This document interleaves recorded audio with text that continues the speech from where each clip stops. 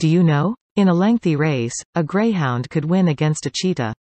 Let me explain. Cheetahs are one of the world's fastest animals, hitting speeds of 70 miles per hour.